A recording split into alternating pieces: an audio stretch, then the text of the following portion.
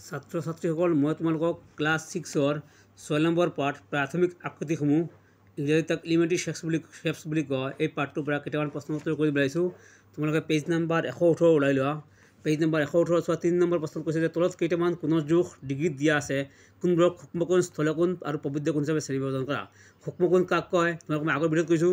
নব্বৈ ডিগ্ৰীতকৈ এটা জোখ নব্বৈ ডিগ্ৰীতকৈ কম মানে এটা সূক্ষ্মকোণ বুলি কয়। অৰ্থাৎ চল্লিছ ডিগ্ৰী পঞ্চাছ ডিগ্ৰী ষাঠি ডিগ্ৰী সত্তৰ ডিগ্ৰী আশী ডিগ্ৰী এইবিলাক সূক্ষ্মকোণ হ'ব। নেক্সট স্থলকোণ চ' স্থলকোণ কয় এটা কোণৰ জোখ যদি নব্বৈ ডিগ্ৰীতকৈ বেছি হয় আৰু এশ আশী ডিগ্ৰীতকৈ কম হয়। অৰ্থাৎ এশ ডেৰশ এশ ষাঠি এশ সত্তৰ এইবিলাক কি কোণ হ'ব? স্থলকোণ হ'ব। আৰু প্ৰবৃদ্ধ কোণ কাক কয় যিকোনো জোখ এশ আশী ডিগ্ৰীতকৈ বেছি আৰু তিনিশ ষাঠি ডিগ্ৰীতকৈ কম সেইবোৰক কি বুলি কয় প্ৰবৃদ্ধ কোণ বুলি কোৱা হয়। চ' ইয়াত আমাৰ প্ৰথম কোণটো কৈছে যে এশ বত্ৰিছ ডিগ্ৰী। গতিকে এশ বত্ৰিছ ডিগ্ৰী কি কোণ হ'ব? এশ বত্ৰিছ ডিগ্ৰী হ'ব স্থলকোণ। তাৰপৰা forty seven degree forty seven degree কিমান হ'ব? সূক্ষ্মকোণ হ'ব? এশ বাৰ বাৰ ডিগ্ৰী কি হ'ব? স্থলকোণ হ'ব দুশ পঁয়ত্ৰিছ ডিগ্ৰী কি হ'ব প্ৰবৃদ্ধ কোণ হ'ব ছেভেণ্টি ছেভেন ডিগ্ৰী কিমান হ'ব গৈ পেলাই সূক্ষ্মকোণ থ্ৰী হাণ্ড্ৰেড টেন ডিগ্ৰী কিমান হ'ব গৈ পেলাই প্ৰবৃদ্ধ কোণ ওৱান হাণ্ড্ৰেড ছেভেণ্টি ডিগ্ৰী কি হ'ব গৈ পেলাই, স্থলকোণ ছেভেণ্টি নাইন ডিগ্ৰী সূক্ষ্মকোণ চ' বাকী দিনা তোমালোকে নিজে ঘৰত কৰিবা, তিনিটা বাকী আছে।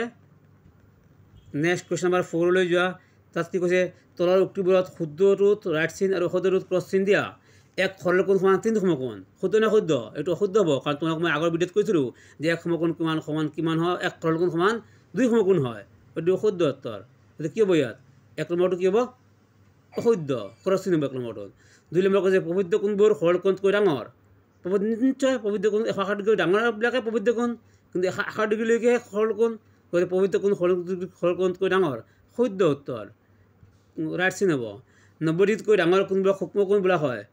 অশুদ্ধ নব্বৈ ডিগ্ৰীতকৈ সৰু সূক্ষ্ম কোণ বোলা হয় গতিকে কি হ'ব বোলে অশুদ্ধ চাৰি নম্বৰ এশ এক ডিগ্ৰী কোণটো এটা স্থল কোণ এশ এশ ডিগ্ৰী কোণটো স্থল কোণ নহয় এইটো কি কোণ হ'ব গৈ পেলাই এইটো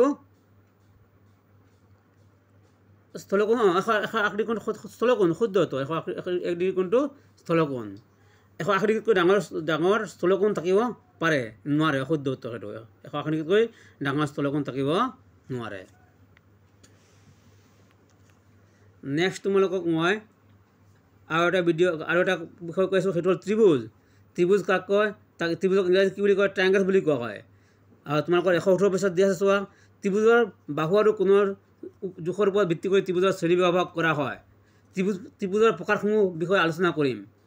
চ' ত্ৰিভুজ কাক কয়? প্ৰথমে তোমাক কৈছোঁ যে তিনিটা বাহুৰে আগৰ আগত কি বুলি কোৱা হয়? ত্ৰিভুজ বুলি কোৱা হয়। ত্ৰিভুজৰ বিভিন্ন অংগসমূহ কি কি? তিনিটা শীৰ্ষবিন্দু থাকে তিনিটা বাহু থাকে আৰু কি থাকে ত্ৰিভুজৰ? তিনিটা কোণ থাকে। বাহু হিচাপে ত্ৰিভুজ কেই প্ৰকাৰৰ? বাহুৰ জোখ অনুসৰি ত্ৰিভুজক তিনিটা ভাগত ভাগ কৰা হৈছে। এক নম্বৰ কি? সমবাহু ত্ৰিভুজ দুই নম্বৰ সমাধিবাহু ত্ৰিভুজ তিনি নম্বৰ কি হয়? বিষমবাহু ত্ৰিভুজ। সমবাহু ত্ৰিভুজ কাক কয়? যি ত্ৰিভুজ সমবাহু ত্ৰিভুজ কাক কয়? যি ত্ৰিভুজৰ প্ৰতিটো বাহুৰ জোখ সমান তাক কি বুলি কোৱা হয়? সমবাহু ত্ৰিভুজ বুলি কোৱা হয়। যি ত্ৰিভুজৰ প্ৰতিটো বাহুৰ জোখ সমান তাক সমদিবাহু সমবাহু ত্ৰিভুজ বুলি কোৱা হয়। নেক্সট সমদিবাহু ত্ৰিভুজ যি যি ত্ৰিভুজৰ দুটা বাহুৰ জোখ কি হয়? সমান হোৱা তাক কি বুলি কয়? সমদিবাহু ত্ৰিভুজ বুলি কোৱা হয়। কাষত এটা ত্ৰিভুজ দিয়া আছে এ বি চি তাত এ বি এ বি আৰু এ চি বাহুৰ জোখ সমান। গতিকে এ বি চি এটা সমদিবাহু ত্ৰিভুজ নেক্সট বিষমবাহু ত্ৰিভুজ বিষমবাহু ত্ৰিভুজ কাক কয়?